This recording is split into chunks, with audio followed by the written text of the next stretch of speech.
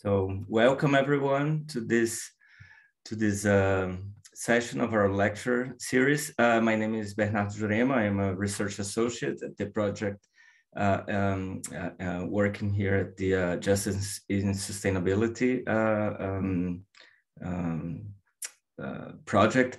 And we will begin with my, my colleague Henrike Knappe. she will introduce our lecture series. And yeah, so Henrike, please. Uh... Hi, thank you, Bernardo.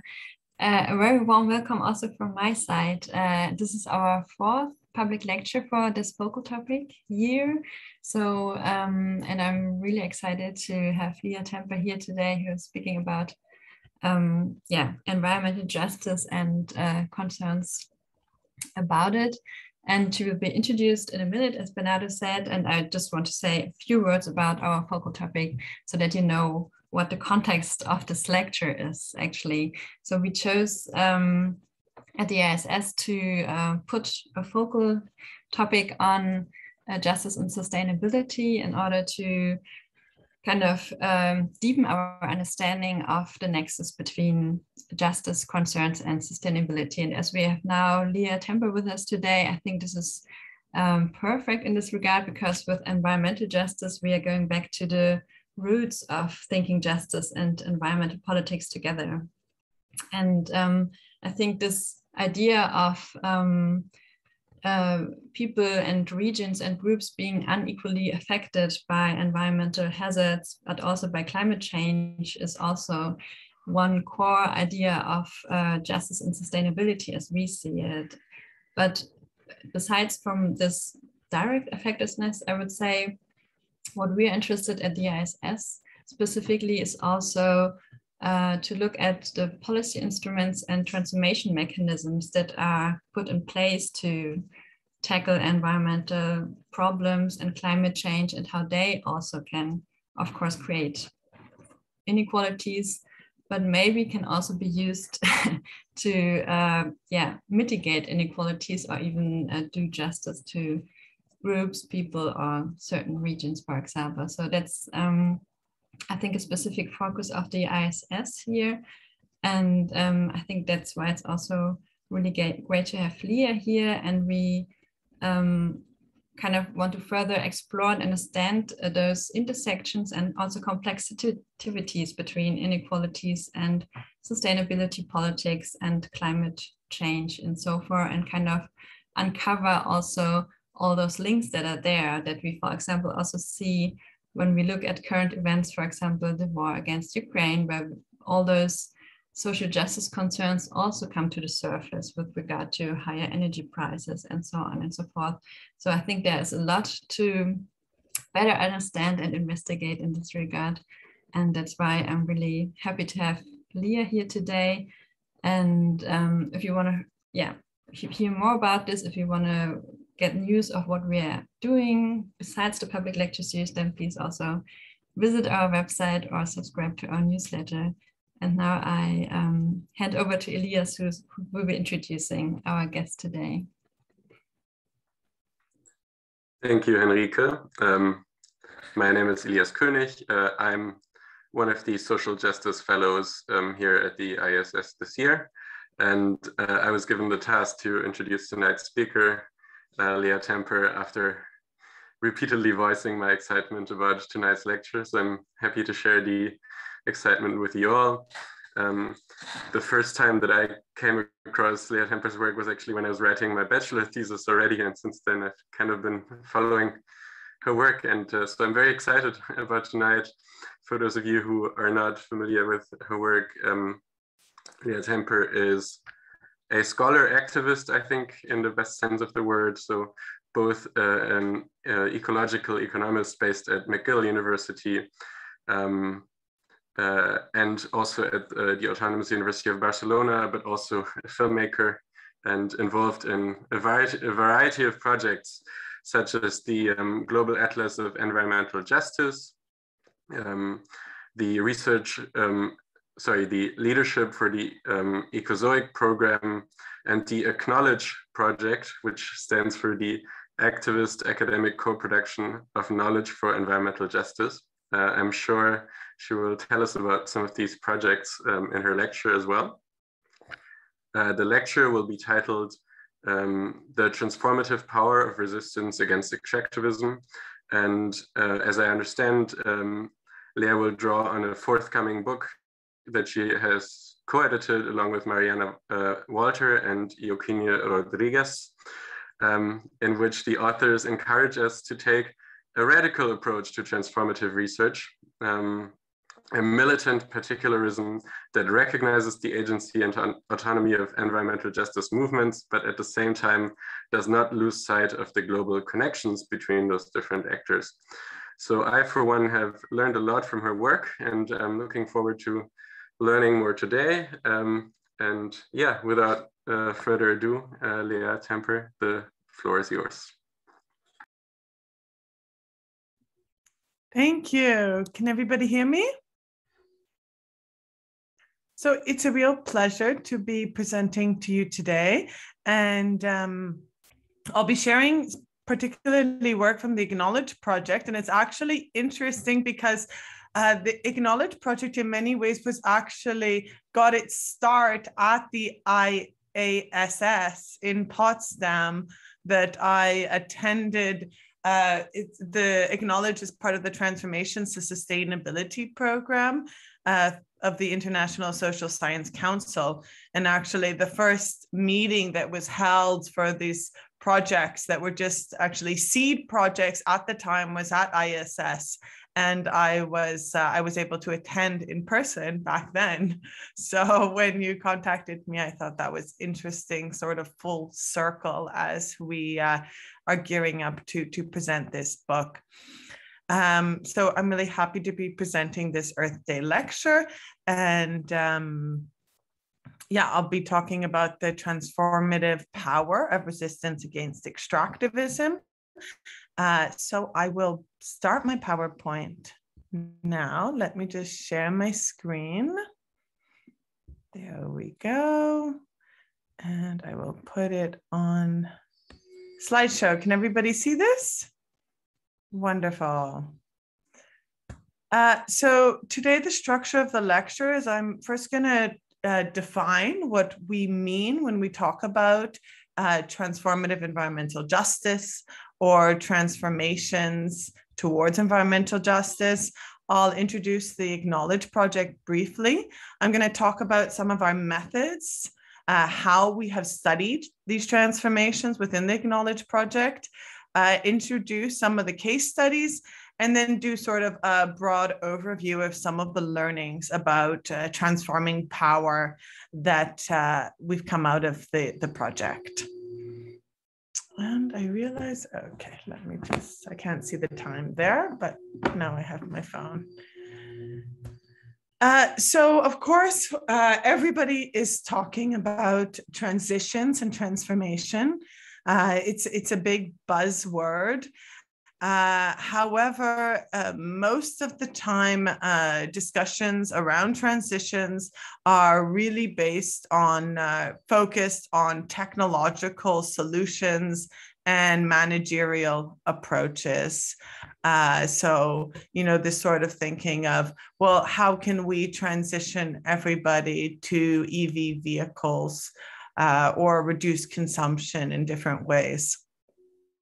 Um, and uh, within the work that we've been doing, uh, we take a very different perspective on transformation, uh, really considering transformation as bottom up, citizen led processes that are shaped through processes of resistance. And, and uh, here you can see this is. Uh, Elias mentioned some work that I've been engaged in for the past 10 years or so uh, the Global Atlas of Environmental Justice. So, this is a project that uh, tracks and documents these bottom up movements against extractivism, uh, these resistance movements.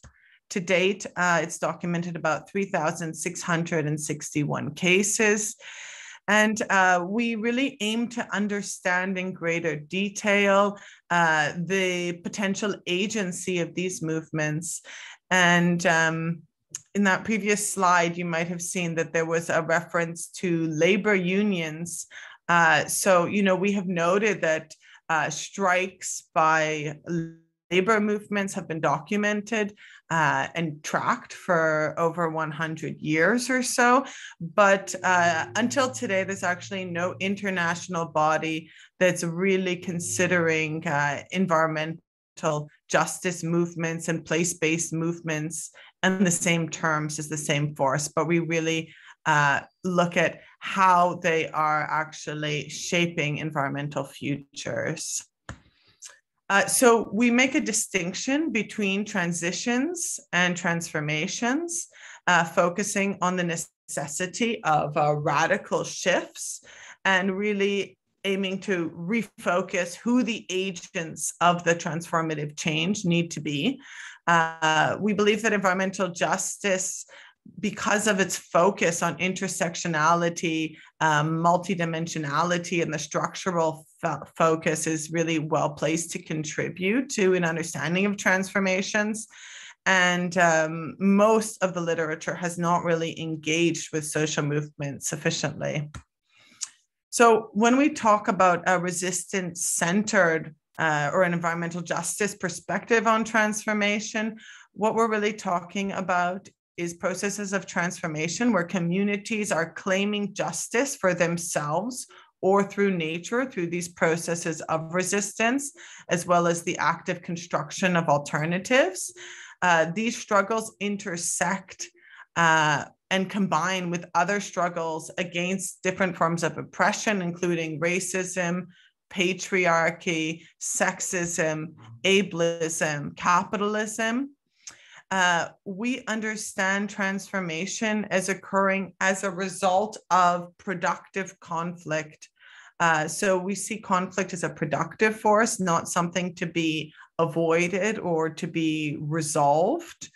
Uh, and that through these conflicts, uh, different types of power can be transformed. And I'm going to talk about that uh, in more detail later, how we understand these different transformations of power and also that through these type of resistance uh, a major piece is the creation of these new subjectivities new relations and new institutions.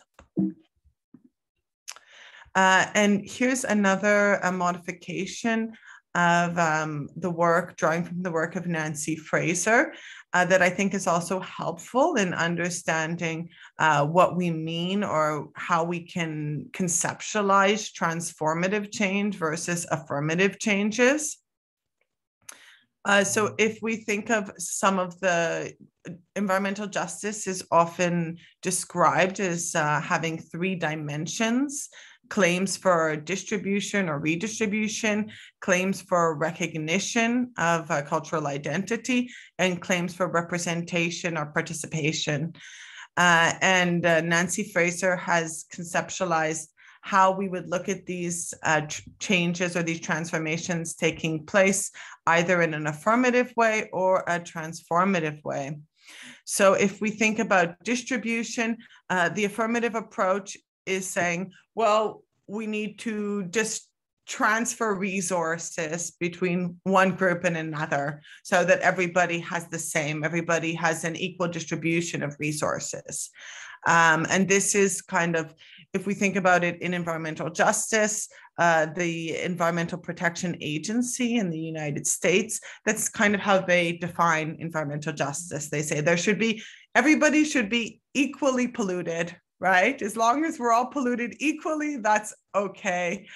Um, whereas a more transformative approach is really saying what are the root causes of these inequalities? And how do we have how can we transform the entire system so that nobody needs to be exposed to these pollutants? Um, so for example if you look at the uh, principles of environmental justice that uh, emerged from the um, the conference uh, uh, on the um, people of color. They say they basically ask for the cessation of all toxics that these materials should not be produced at all anymore. It's not about distributing them more equally. Uh, the same thing with recognition. So, affirmative pr- approaches are really based on mainstream multiculturalism, affirmative action, so on and so forth. Uh, whereas the transformative approach is really about the deconstruction uh, of the cultural structures as we know. So, one example uh, that um, Fraser uses is that idea of queering. How do we how does queering things help us to understand differently our own identities? Um, so, in terms of uh, environmental justice, we can understand this. Uh, you know, on, for example, the rights of nature. How do we understand nature's agency uh, and how does that understanding therefore change our own understanding of, of our role as humans? And uh, similarly with participation, uh, is it just about participatory parity where everybody participates in the existing structures on the same terms? Or how do we really understand about reframing and reclaiming the different scales of justice and recreating new institutions for participation?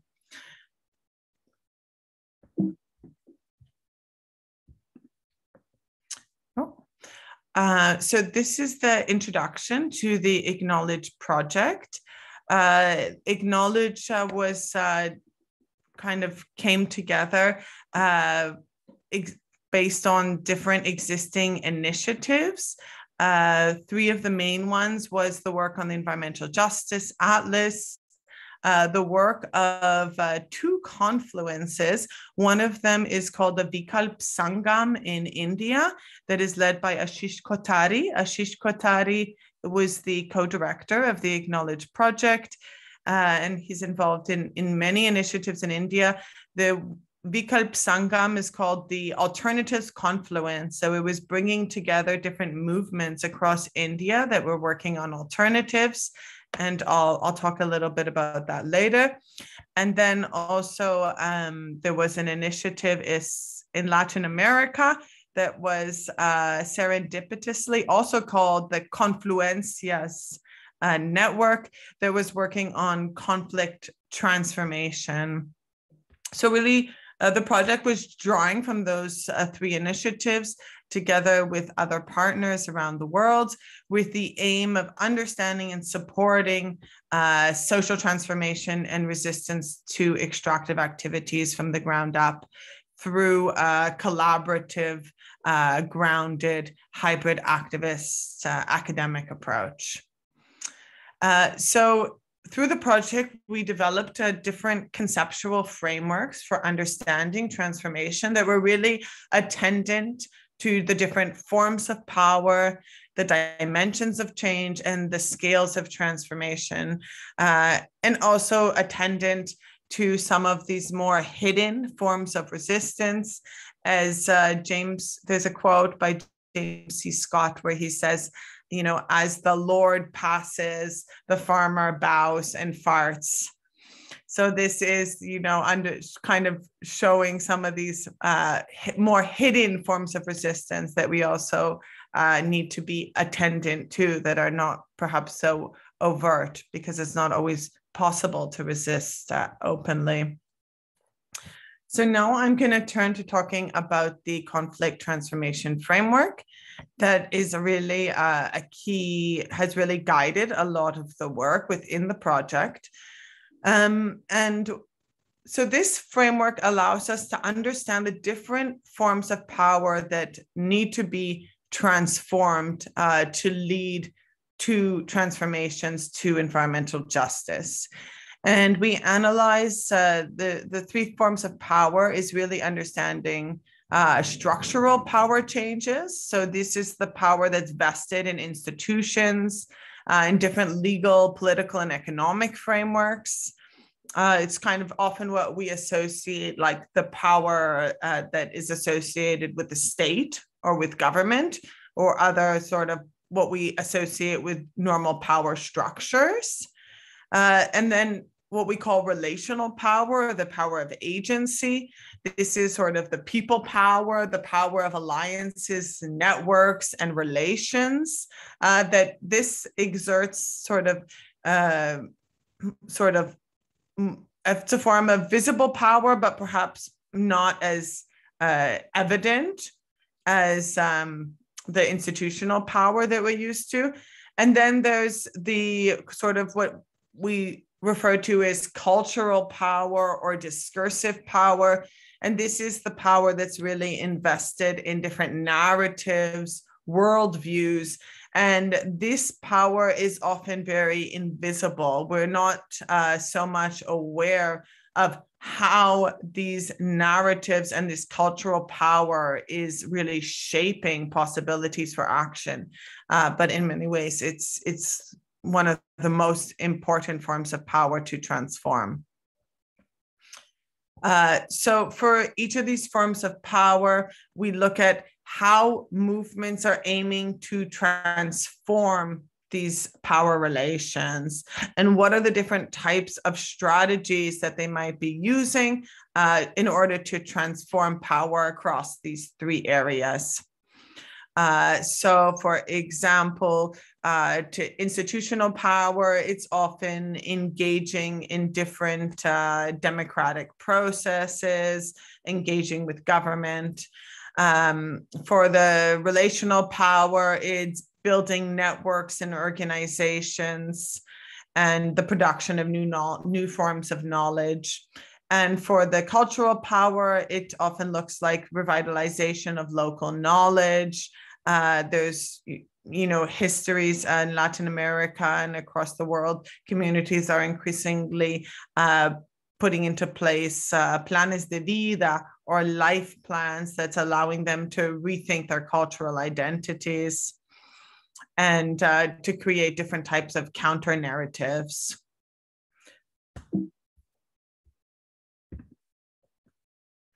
Uh, so the project also draws on another format called the alternatives transformation format. And this is a format that allows communities to assess their own processes of transformation across five overlapping spheres. Oh, there, sorry, there he goes. So the five spheres that we also look at are uh, cultural diversity and knowledge democracy, social well-being and justice, economic democracy, ecological integrity and resilience, and the political sphere, looking at direct and delegated democracy.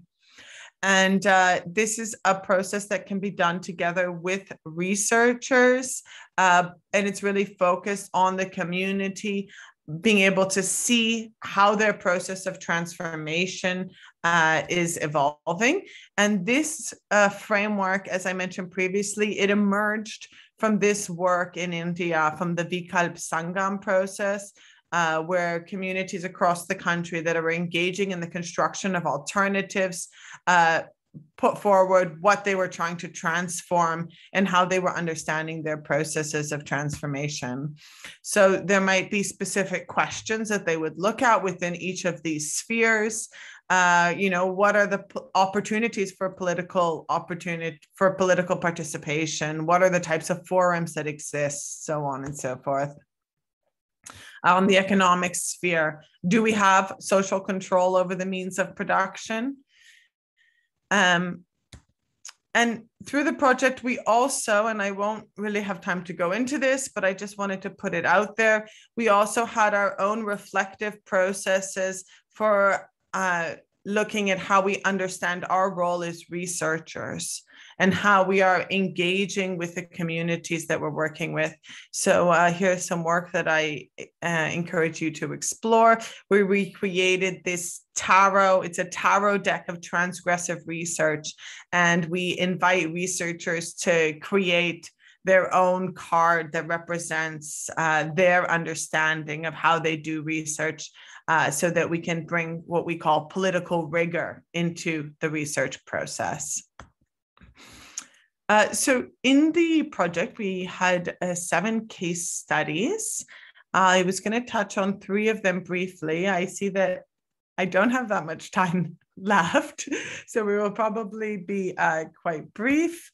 Um, one of them was a case study in Belgium, in Haren. Uh, that's an interesting study in the sense that uh, it involved uh, a resistance uh, against a prison. So uh, it's not the normal sort of extractive project that uh, we have normally been studying. But there was a prison slated to be built in a natural area uh, in a in a somewhat marginalized community, and uh, it's uh, triggered a, a, huge resistance movement that occupied the space. And um, it, this case study was written by uh, Jerome Pelenc, and he really tracks uh, the dif- different processes of empowerment and the, how the capabilities have evolved through the conflict, both the individual capabilities and the collective capabilities.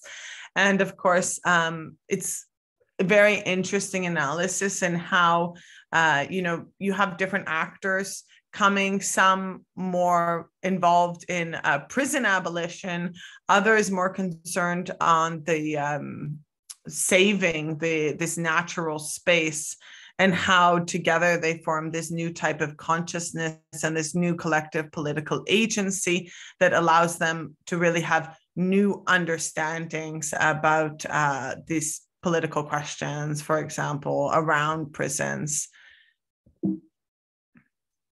Uh, another case study we have is one about uh, extractivism in Canaima National Park, uh, Venezuela, that is looking at the struggle of the Pemon people.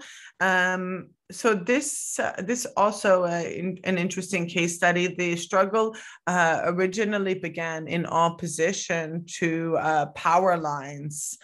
that would bring power from Venezuela to Colombia, and they were contesting the installation of these power lines through their territory. Uh, they ended up gaining significant concessions from the state and actually the, the recognition of their territorial autonomy, at least in name. But uh, the case study demonstrates how through these processes of uh, you know gaining these institutional concessions from the state uh, it actually ended up opening opening the door uh, to mining extractivism uh, entering into the region and how today the Pemon, even though you know they were kind of able to mount this very effective resistance, the photo that you see there is uh, you see that they were actually pulling down, physically pulling down the power lines uh, that today, uh, unfortunately, they're actually destroying their own territory by practicing mining on their own territory.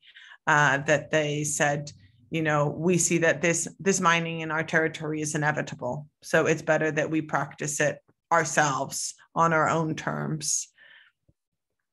And uh, another one of the case studies that we've been looking at is uh, the what has been termed the trash revolution in Lebanon.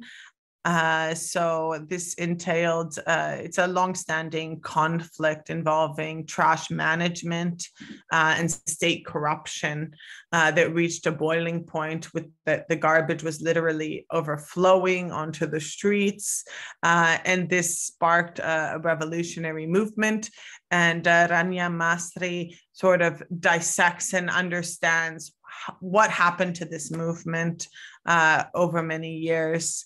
And uh, this was uh, for Lebanon, you know, uh, definitely the first time that an environmental issue had sp- sparked a sort of nationwide mobilization.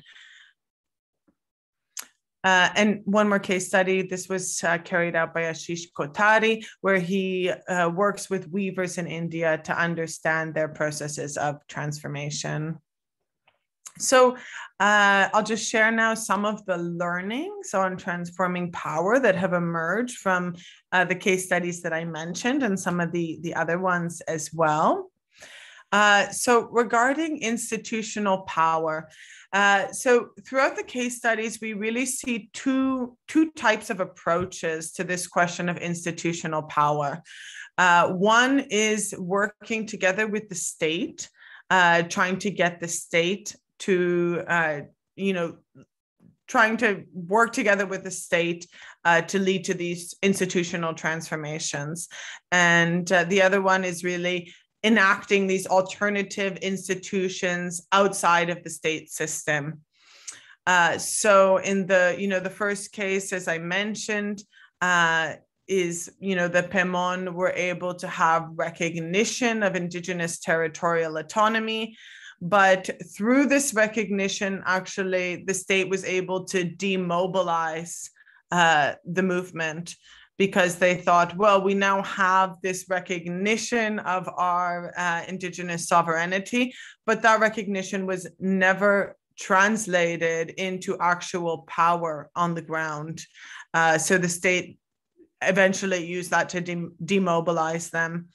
Uh, whereas we have these existing, uh, we have these situations where communities are kind of creating their own institutions. Another case study from my colleague Mariana Walter uh, looks at, for example, uh, movements um, referenda, community-led referenda against mining in Latin America. Uh, so this, in these situations, they're sort of they're saying, well, we cannot trust the state to provide democratic decision-making fora. We're going to redraw uh, the lines of governance and put in place our own referenda. So that's an example, a more autonomous example of how you can recapture the democratic process and the type of social innovations that might emerge uh, from from these processes. So certainly, uh, the case studies show some of the the risks, uh, the risks of engaging with the state, and uh, how the state can sometimes use these processes of mobilization, uh, these processes of engagement uh, to demobilize. The some takeaways from how we look at relational power. So we understand relational power is being built uh, through dialogue, deliberation, and collaboration between actors, and leading to this formation of collective political agency. Uh, one thing we see is that uh, some of the most interesting relational power across all the case studies is that when it is forged uh, through alliances across difference. And this is often based on these productive frictions between actors that lead for uh, lead to the need for negotiation and this sort of re new subjectivities that are formed when we engage with the other and across forms of difference. Uh, interestingly, uh, I co-authored a chapter on uh, different uh, different movements in Canada. We did a bit of a statistical analysis looking at the different conflicts and their transformative potential. And we also see that the more diversity of actors that's engaged in conflicts, uh, the more the more potential they have for success and I'm happy to uh, to discuss this a little bit more in the conversation. And then finally, uh, really looking at cultural power, uh, we see that uh, these resistances lead to the creations of new meanings and the breaking down of these binaries and divisions, and also to these new conceptions of nature and new place attachments. Uh, this was something that came out uh, really interestingly, for example, in this uh, in the case of Haren, in the case against the, the prison in Quebec, uh, that this space that in it was a natural space, but somewhat abandoned. And through the resistance movement, it becomes revalorized and people understand it in new terms. And actually, it ended up transforming their entire relation with their with their community. Um, so we see conflicts have this really uh, transformative role in how we relate with these ecologies around us. Um, and another major takeaway from this is that these conflicts uh, will, cannot really be sustained over time unless these processes of cultural re- revitalization uh, and a focus on knowledge and value systems are happening. Uh, so this, as I mentioned, was um, from the, the, the struggle of the Pemon. Iokiñe Rodriguez really says that was sort of the, the key weakness of the movement. They put their energies into how to negotiate and relate with the state, but they weren't able to strengthen their own understanding of what their uh, path of their own alternative development path was, what their internal decision making process was. Um, so, without that sort of base in the cultural power transformations, it becomes very difficult to sustain the other type of power transformations that we have looked at and uh, really transformation of intercultural relations. Okay, I think. Uh, oh, and one more. Uh, so in our chapter in looking at Canada, we kind of add one fourth form of power that we really uh, think is is relevant uh, to to adding to the other three, and we weren't we didn't really see how it fit exactly. We call it physical power, and this is actually using uh, physical means to block uh, to block projects, uh, direct action to block these infrastructures of extractivism.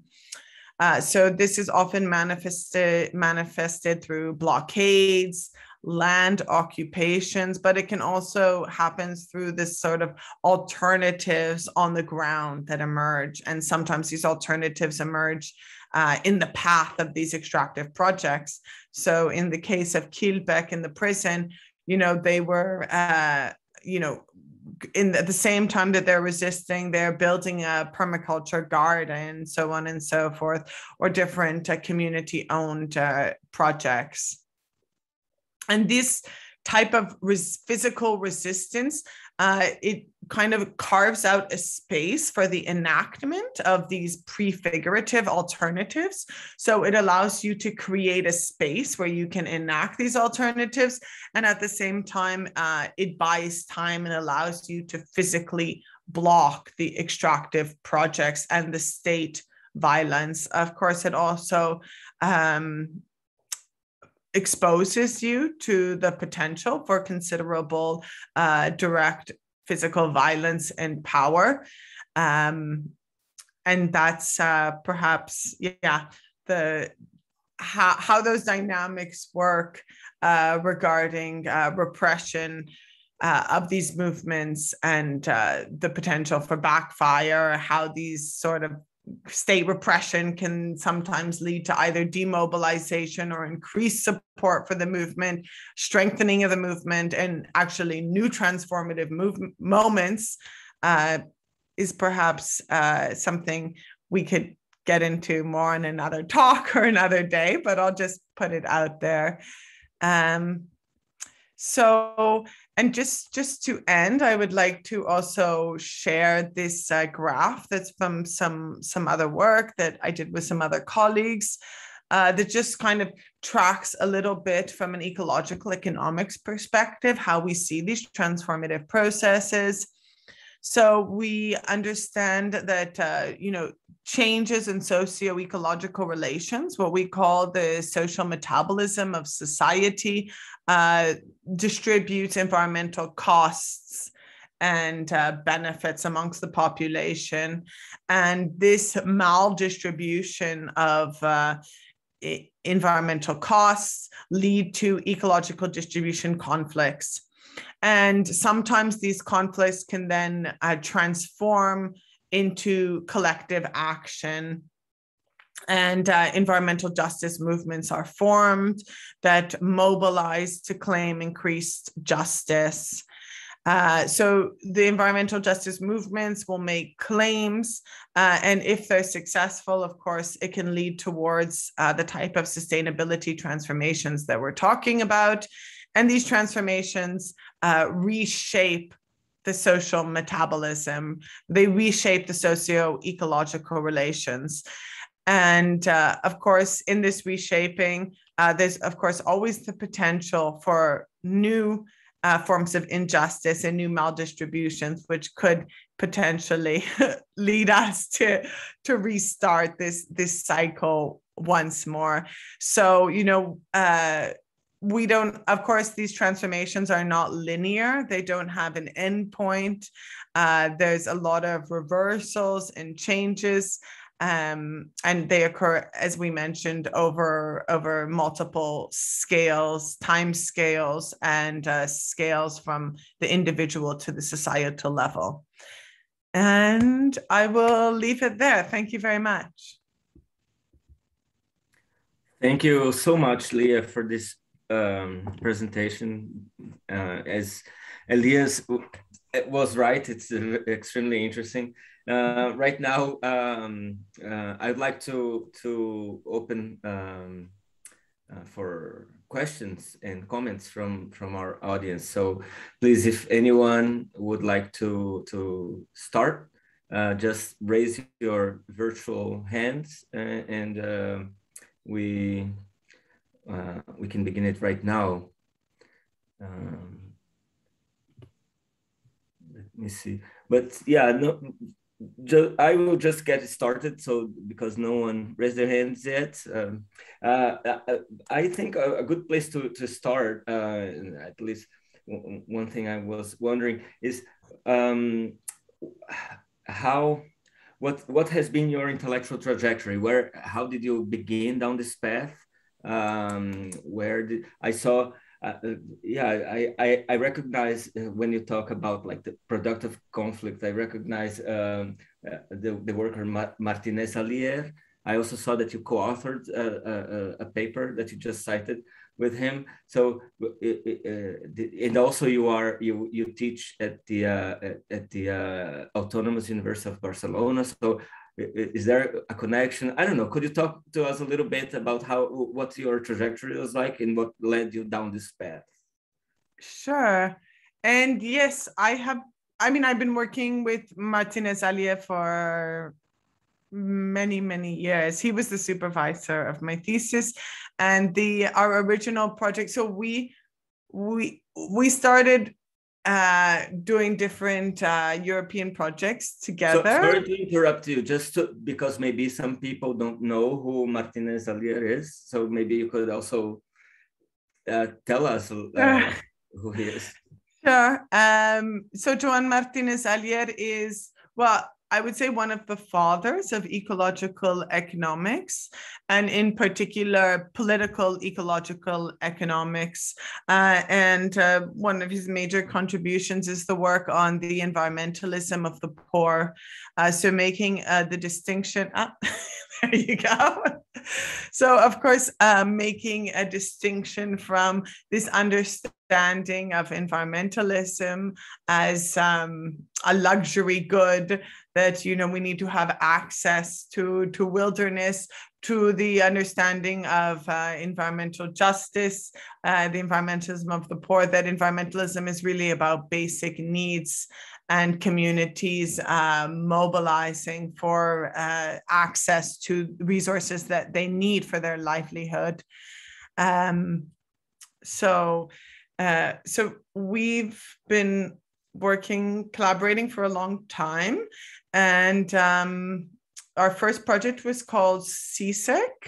Uh, and that was uh, kind of the first thing about very explicitly working with social movements and NGOs and saying, how can we translate uh, ecological, how can we make ecological economics relevant for uh, practitioners and movements on the ground? How can we, try, you know, in ecological economics, we talk a lot, as I mentioned, about social metabolism, uh, multiple forms of valuation. So how can you, how can you engage in valuation beyond the monetary? Um, but translating these tools so that they are usable and accessible is is is is complicated. You know there's a lot of uh, there's a lot of interest from ngos in monetary valuation to give you one example. Like oh if i could just put a money a price on this forest then the policymakers will be so convinced that we should preserve it. Um, so a lot of uh, my work and our work has been contesting that perspective but then if you contest it you need to say well what are the alternatives uh, alternative processes you can offer to communities? What are these other tools? And i think yeah this work uh, it's still still only partially done or uh, there's still a lot of work to do in this but the CSIC uh, was an attempt to do that. And we we published uh, one book there was a handbook called ecological economics from the ground up. So that was a smaller project. And then we uh, conceived together the project called uh, ejolt environmental justice organizations liabilities and trade uh, that involved 23 organizations at that point, uh, acad- academic and activist groups. And that was where we began working on the Global Atlas of Environmental Justice. So that project was my initiative, it was like my little baby within the project. Um, and we worked with um, you know groups that had been doing this work of documenting these conflicts together with frontline movements. Most of them had been doing this work for like 20 to 30 years. Uh, but as i mentioned previously there, there's no global source to document these types of conflicts. Uh, so we began building building the atlas towards uh, that end. Um, so yeah that's that's a bit about uh, where I'm coming from. Of course, like my focus is environmental justice, political ecology. Uh, also, uh, I have a master's in economic history with a focus on agrarian history and environmental history as well. Ah, thank you. No, that's very interesting to, to understand where you're coming from. So now we, we, we have a question from Insa. So Insa, please uh, take it away. Yeah, thank you. I don't know how internal or external your group is here. So my name is Insa Theesfeld from the Martin Luther University in Halle, and I came to your talk via announcement in the newsletter. I'm I'm really fascinated by the many case studies you have, and maybe by the possibility to bring in some dynamics here in how power structures can help you to bring in success to transformative processes. So my question would be, can you, can you build on this richness and maybe say if these various forms of power you introduced, do they show up in a different order?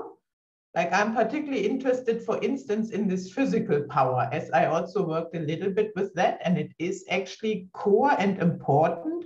But is it from your experience maybe first and then it transforms into cultural power. So do you need this physical um, fight in the beginning to get the movement going? Or is that something that starts if cultural and power over is not successful and then this physical power comes in? So, so what can we learn from your comparison of cases?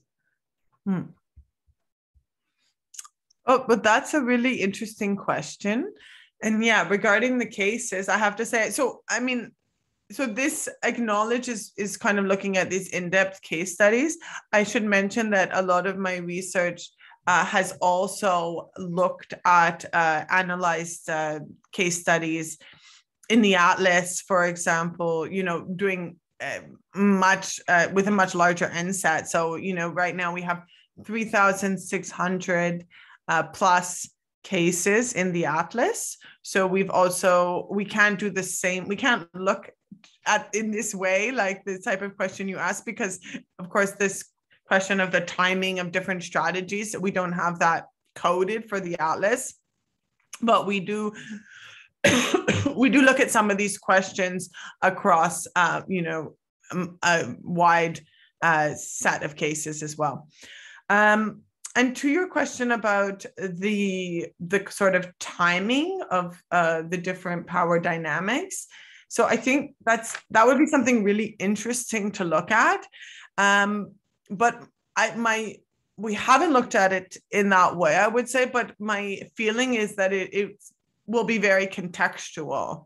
Um, and just to give you an example i mean this idea of doing a life plan uh, that some indigenous communities have been engaging in. Uh, you know, the the the right moment to do this life plan is actually before any sort of project would be to come into your territory. Uh, so you right away when when you're not in a moment of extreme pressure, uh, time pressure, the conflicts and the divisions that these projects inevitably bring into a community uh, begin to surface. Uh, so, you know, you already begin to lay out what would happen if, if you know, if we are to be proposed uh, some type of project from an external force, what would that have to look like for us? What is the process we will use? What's the decision making process we will use? Where do we actually want to go? You know what is our vision before it, this new vision is is imposed upon us so on and so forth? So that would be the ideal processes and in and when i think back to canada for example i mean the um like there has been a lot of focus, for example, on these elements of cultural revitalization. So there's been a lot of work on revitalizing indigenous languages, so on and so forth. And then some indigenous scholars have critiqued that that work, the cultural work, has not translated to the institutional power that's necessary on the ground. Um, and even, you know, there's also been for example, a great deal of blockades, for example. So, this manifestation of physical power, but it doesn't always translate into the forms of institutional power that that is necessary or that's needed. And and you know why is that? Is that and some of that to a degree, some people might say, well, this is a problem of relational power because you have hundreds of separate Indigenous communities that each have their own vision. And then you don't necessarily have a strong structure that's bringing them together with a shared vision, right? So I think, um, and then if you look at the case of um, the, the, the case in Lebanon, uh, this is a very particular case and uh, demonstrates some some of these dynamics in interesting ways because uh, so Lebanon, the political structure in Lebanon is based on a system of a clientelism uh, and patronage along sectarian lines. So, you know, the actual political power is structured in that you have seats in parliament that are reserved depending on which sect you are a part of. And these sects uh, gain power by, uh, you know, they kind of distribute resources amongst the population. Uh, so, you know, part the what Rania Masri, who's actually she uh, is you know part of a political movement to undo the entire political system. But um, you know she really talks about the different challenges that they that they face in in in in confronting the political system when all the resources currently are distributed through this political system. So it um yeah in that case it it becomes quite complicated because to a degree they have to redo the i mean what they're calling for is this sort of undoing in a sense of the cultural power that is existing that is vested in these different sects uh, and groups that have this historical trajectory. It's almost the the reverse in a sense of the process that many indigenous communities need to do that's the first time that that just occurred to me but nice to, to be talking about these things. So I'm not sure if I answered your question, but uh, yeah, just some reflections on how we might we might look at some of these dynamics. Thank you, Leah. Um, uh, Elias, yeah, you're next.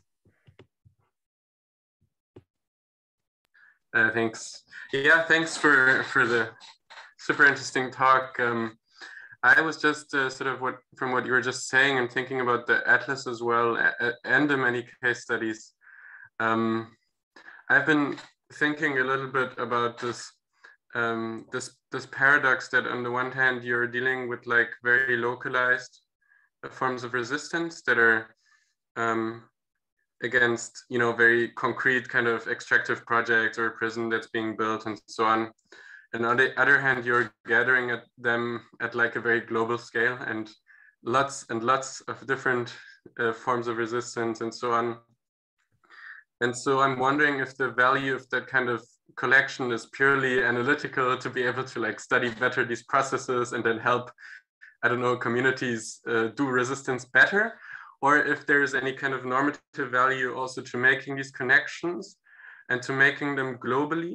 Um, I, I just had to think about how uh, uh, in Taiwan, where I have been living for some time, uh, the indigenous um, movement only really started uh, identifying as an indigenous movement as a result of the sort of global um, United Nations uh, declarations on rights of indigenous people and so on and, and making new connections, for instance, with indigenous movements in New Zealand and other places um, before that that had never really been identity. And that sort of opened up also possibilities for uh, sort of transnational coordination of these sorts of struggles, which I would think may, may still be important because otherwise, how do we make sure the local instances of resistance don't just amount to a kind of NIMBYism where, okay, don't build a prison in our neighborhood, but you know, we're not going to fight if you build it at the other end of town.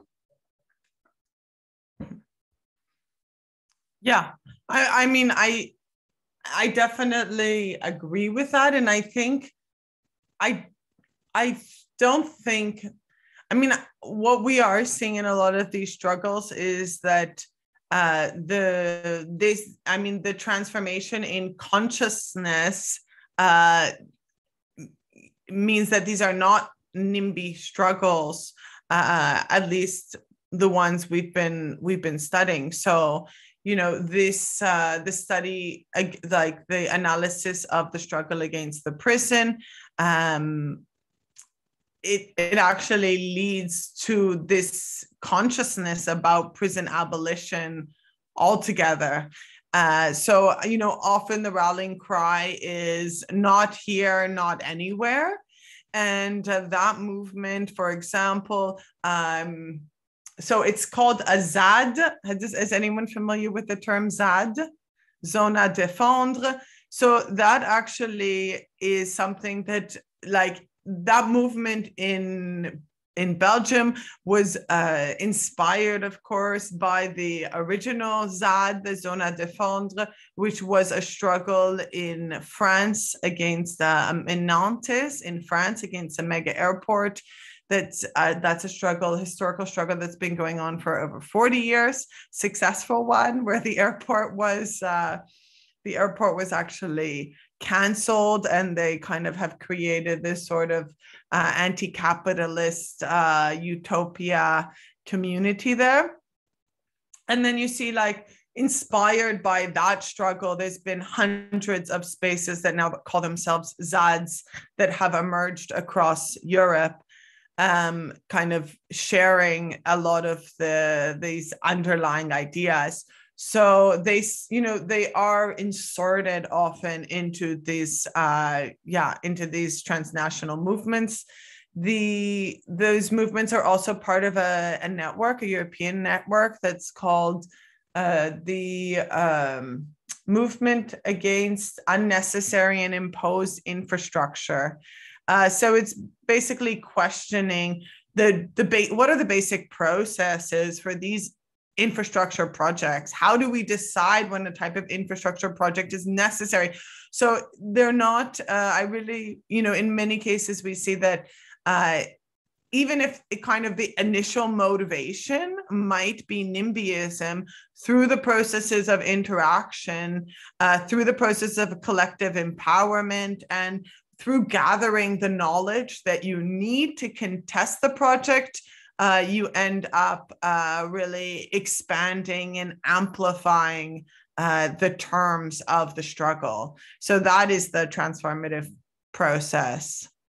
And then, of course, we see how those movements, the new forms of social innovation, the new knowledge then translates to new struggles and new movements. So, you know, in that particular case, he was saying how some of the people uh, mobilizing against that prison, that that prison was actually built in the end. I was looking in the internet and I saw that the like architecture firm that built it, that like say, this is a green prison, and they've won all these awards for the prison design.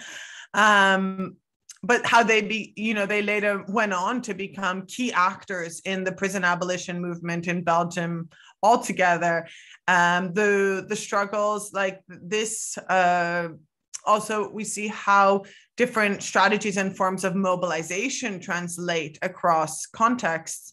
So, you know, Mariana Walter's work, she looked at this, uh, the local, the work on local consultations, and she tracks how it has moved across communities in Latin America and it's been used in different ways. Uh, so there's also this translation in terms of uh, the, the forms of struggle. Thank, thank you, Leah. Uh, next question from Isadora Cardozo. Hi, Isadora, please. Hi, um, good afternoon. Thank you, uh, Leah, for this really interesting talk and um, presenting your work. I personally really like and find fascinating the Environmental Justice Atlas. Um, it's very val uh, valuable work um, that you're doing. Um, I'm curious to know because we know that for many environmental justice uh, groups and environmental activists and defenders, um, the issue of security is very important, and um, many groups don't even like to share much about their strategies or how they organize, where they're based.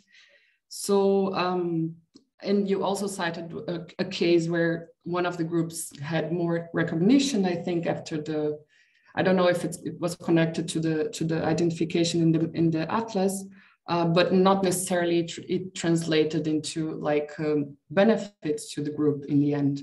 So my question would be, um, how do you deal with that in your project? How do you deal with the question of security of especially those groups which identify those struggles so that this doesn't really turn into, I don't know, um, something like um, against their own struggles. Um. Yeah. Um, so, I mean, the this is something that came up a lot uh, initially when we were coming up with the atlas. Um, and I mean, what I can say is that the the cases we document in the atlas, it's based on public information. Um, I mean, and and I think that I'm not sure if this is your question exactly, but the question that we got a lot was, uh, can this information be leveraged by extractive companies, for example, against movements? That was like a major concern that we had when building the map. Um, and it, it is a question that I get a lot. So I can just say that, uh, you know, we've always had that consideration in mind and that we had the the opposite impression like communities actually feel they want to be included uh, in the atlas these struggles are already uh, public. So actually, that's generally one of the preconditions for, for being in the atlas is that there should be some sort of media or published information about these struggles. Uh, there's been some cases where that wasn't the case, or uh, it was only you know and actually you will have that when the communities are extremely marginalized the cases will not even be published in the national media. Uh, so i remember we had one case uh, about a landfill and it was a minority community of ethnic albanians and they they wrote us.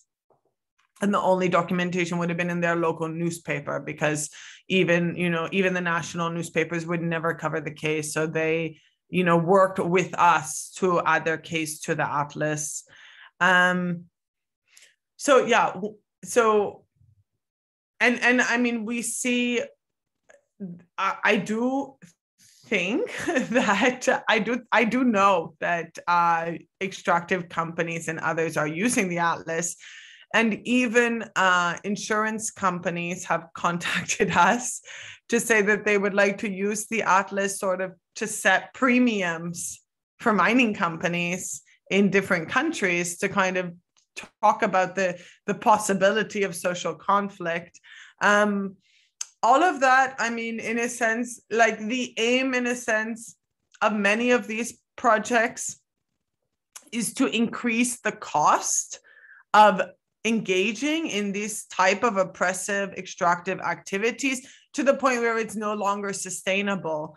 So anything we are doing to contribute to increasing those costs, to making those costs visible, I think that it's actually helpful and it shows the strength of the movement and shows that you can't, uh, you know, just go in anywhere and force your way into any community no there's these processes of resistance and these projects are often successful. So some of our more meta-analysis is really analyzing you know what percentage of the projects are successful um, and what are some of the costs for example to business as usual through this resistance which i think is often invisibilized. It's not really taken into account. Uh, so, you know, from our analysis in Canada, there's, uh, you know, there's been some analysis like you're talking about billions of dollars that are lost because of the resistances on the ground. Uh, and many, many, many projects have been canceled because of these resistances. So we we do want to make this more evident. Is there a chance that like this analysis of strategies, mobilization, uh, will be used by by extractive industries perhaps yes although yeah some of my they, some of it's quite crude their their work so. Yeah I, I I I would say that the the danger is there, but we we are attentive to it, and I think on balance, uh, the feedback from movements is that uh, they actually use the resource a lot and for them it's important to to to be there and to show the to have that visibility because these movements are often invisibilized. Thank you leah. Alexandra you're next. Yeah, also from my side, thanks for your uh, wonderful presentation and uh, also the debate.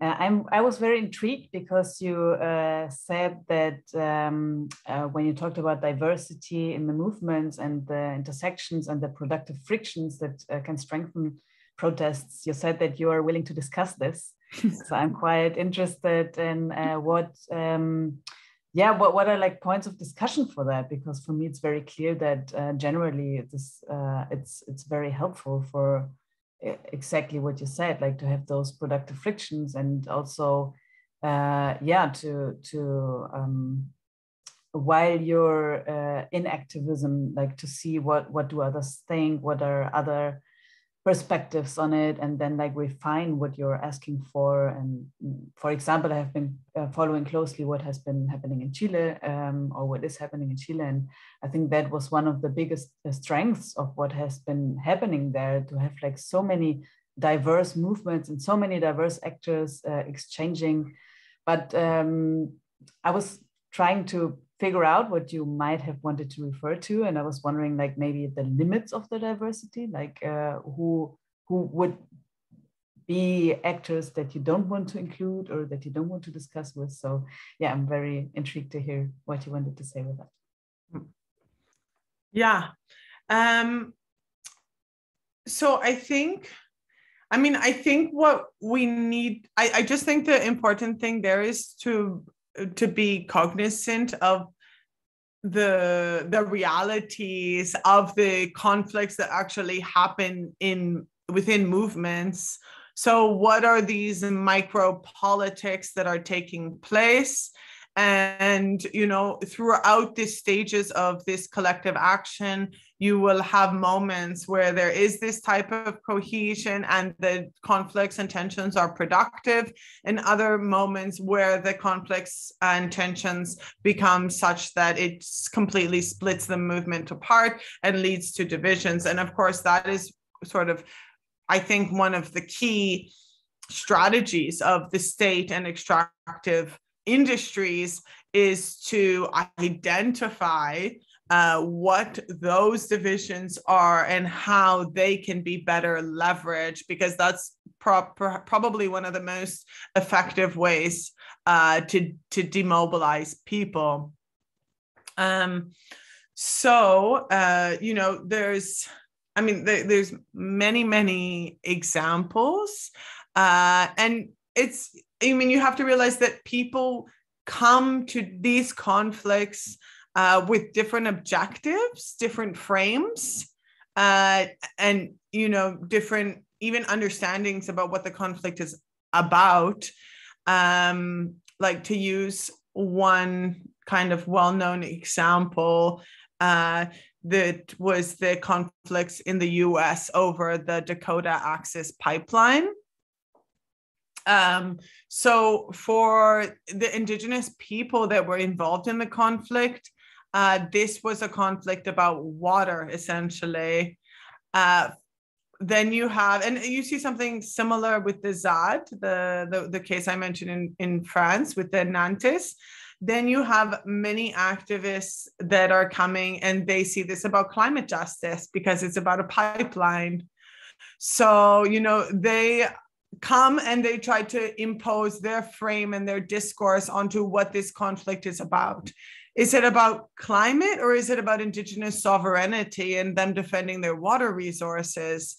Um, and the questions become then like well to what to what degree is it helpful to have this support from these other actors these uh, let's say external actors that have their own understanding of what the conflict is and what point does it lead to uh, you know irreconcilable let's say differences where you could get to the point where it says well you know please uh, please you know we don't we don't want your support anymore right?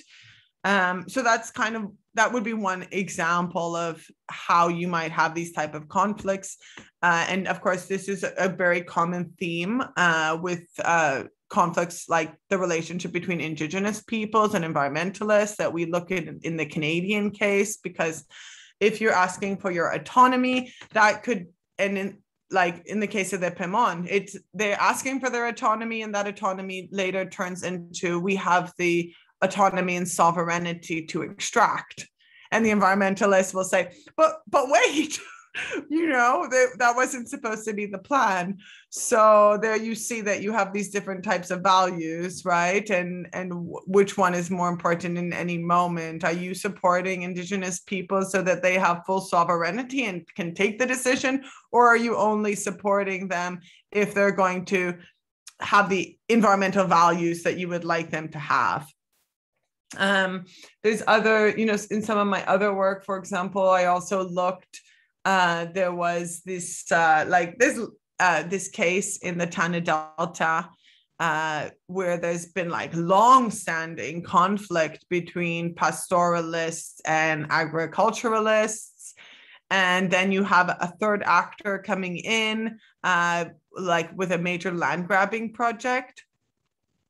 And uh, for the first time you have this like marriage of convenience right? I call it a marriage of convenience where these communities that have been uh, historically always at conflict say well you know we need to unite against this common enemy stop the project uh, but is that really going to lead to a transformative understanding of difference and new relations once the external enemy is gone uh not necessarily right so there's i think yeah I, I would just say that these these tensions can be very productive but they can also rip the movements apart. And this is uh, in the case of Lebanon. Uh, she also discusses that there was different two streams within the movement. And this is another key difference. It's not it's based more on the political vision. So you know you have from one perspective it's like what is our analysis of this conflict? Is this a technical issue? Is this a technical conflict about waste management? And if we can you know and put more of an environmental framing and a lens on it and find a way to resolve uh, how we are going to manage waste. And it's about recycling it's about reuse, it's about waste reduction?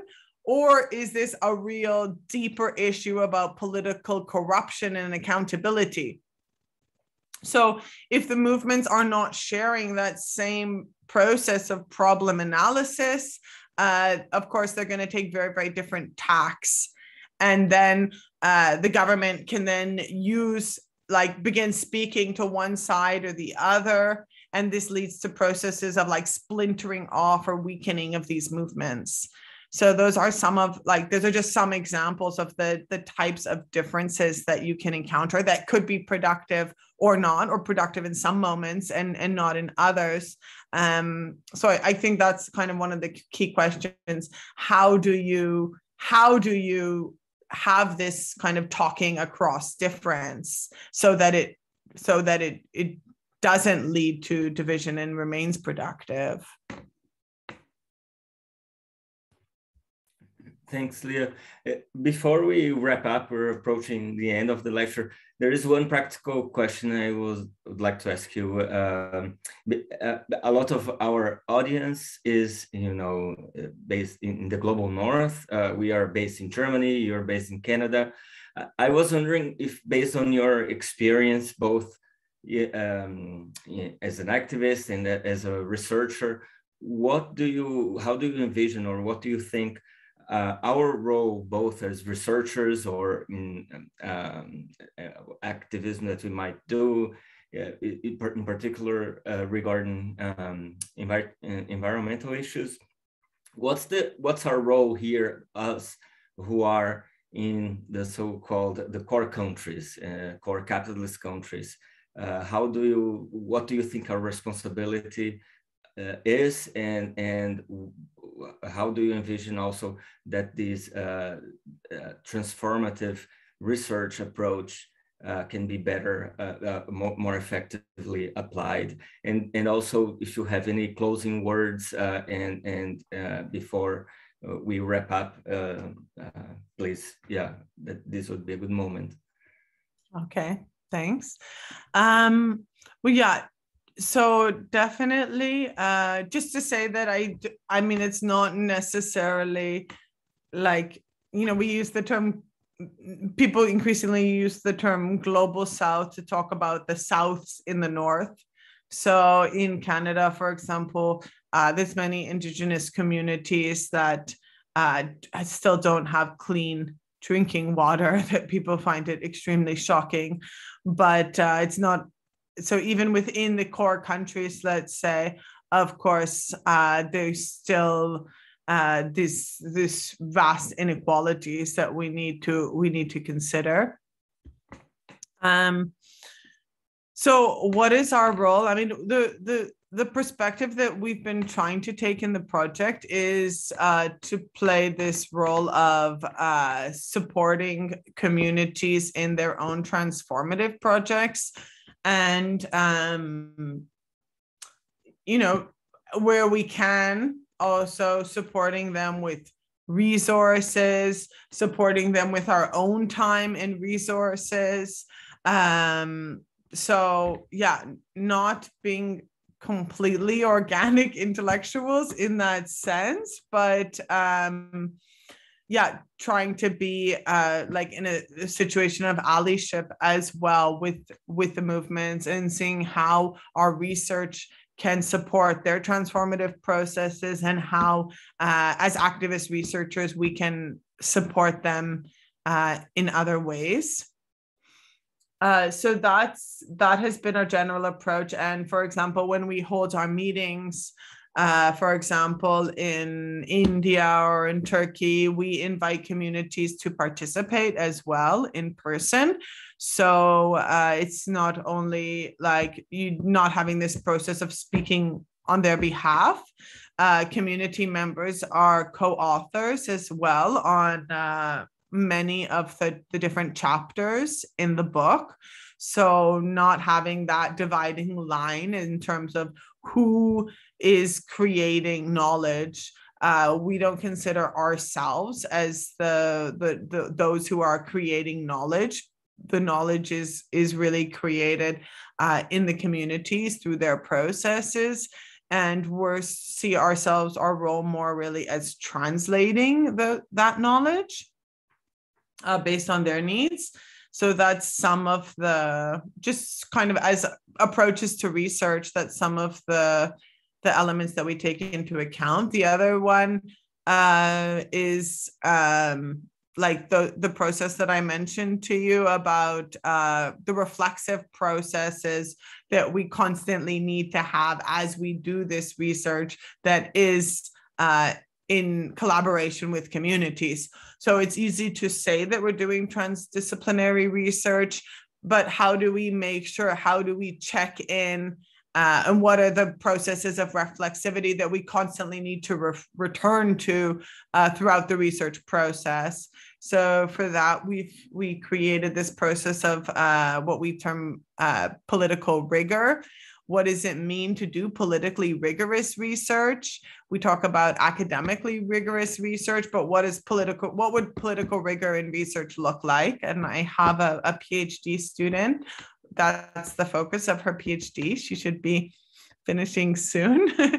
um, so that that's I think in terms of um, in terms of the research part, I would say that's that that that's some of the, the answer the other thing i guess is in terms of our role as as citizens uh, what can we do to contest these processes. I mean i think i think a lot of the work actually and that's kind of I, now i'm i've actually moved i'm i'm working now as a full-time activist. Um and uh, it's it's really f- focusing on this cultural power and the hegemonic thoughts because uh, even when we talk about transformations to sustainability even now as we are talking about this sort of accelerated transition that germany is going through in relation to the cutting off of russian gas uh, it's it's very li- like the the limits of what's possible are very constrained. Um, there's so like what you can say in public uh, is extremely limited if you were to propose um, ideas like bring up ideas like degrowth or uh, restructuring of how we consume energy or even come up with the idea that you know what if we were to change our energy consumption based to a degree on the natural cycles? Like this is what farmers and communities all around the world do everywhere. So just proposing that sort of idea i mean it it's it's basically not proposed. It's it's in it's unthinkable to begin to propose these sort of thoughts. So I think that the, you know being more vocal like Uh, with these transformative thoughts unpopular thoughts so on and so forth it's how we begin to win cultural space because these ideas take a long time to percolate you know i created a film about degrowth i think it was the first documentary about degrowth it was about 12 maybe 12, 13 years ago. I don't know how long. I was living in the States at the time. I couldn't even, I was at Berkeley in the university. I could not even talk about it. People would look at me like, huh? Like it, even in even in Berkeley, it was not possible to talk about at all. People just thought I was crazy. Now, 13 years later, in academic circles, it's everybody is willing to talk about degrowth. So how is that then going to be expanding to wider audiences? Um, so you know, ideas and cultural change, it, it happens very slowly if you know and as academics people that are working on creating narratives disseminating knowledge yeah i think there's a necessity to be a little bit more bold and radical and to integrate these ideas of challenging uh, oppressive structural conditions in our work. So i think that's our other responsibility. Yeah i think i can leave it there. Great. Yeah so that's a great note to end on like dream dream be more ambitious in our dreams. Uh, that's a fantastic note to end on. Thank you so much leah for this uh, uh, amazing and informative and inspiring lecture. Uh, and um, yeah I, I, would just like to to ask everyone to to um, um sign, subscribe to our newsletter. Also, we have created a new Twitter account so people can follow the news uh, from our uh, our events and announcements. Uh, it's justice underline IASS, so on Twitter. And uh, um, yeah, in the next lecture will be on May 19th at the same time uh, at 5 p.m. Uh, Central European time with uh, Taz Tasneem Essop on civil society and climate forums, the challenges to building consensus around climate justice. And so look up on our website for more information on how to sign up. Uh, yeah, thank you so much everyone for participating and thank you again, Leah, for, for joining us. So thank you. Thank you for the invitation. It was lovely. Thanks to all of you. Okay, bye.